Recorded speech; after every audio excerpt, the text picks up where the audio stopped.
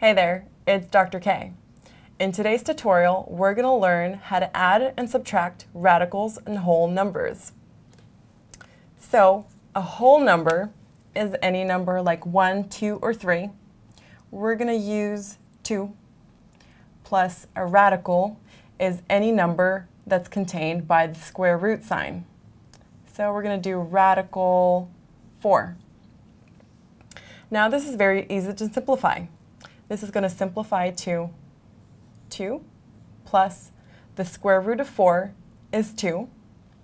So 2 plus 2 is 4. So there you have it.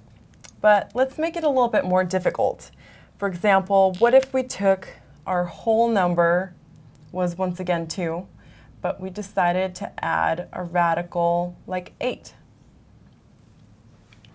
Can we add those two together?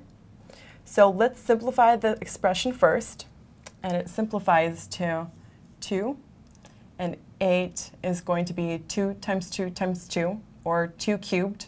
When it simplifies, it becomes 2 radical 2.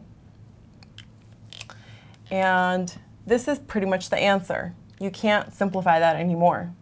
Because this whole number doesn't have the same radical as this number, this expression is the answer.